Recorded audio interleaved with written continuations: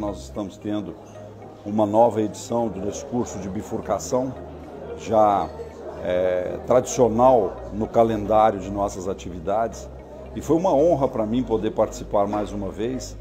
é, de uma mesa tão destacada em que, além da gente rever as técnicas, nós desfrutamos de pessoas muito experimentadas que nos permitem uma visão crítica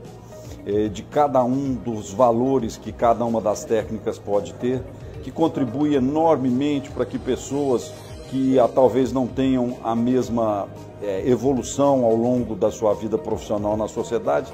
é, incorporar toda essa experiência é, de interação, de discussão e de exatamente dessa consciência crítica do benefício que cada uma das alternativas pode, pode ter na prática clínica. Uma grande honra poder ter participado desse evento tão destacado e já tão tradicional na nossa sociedade.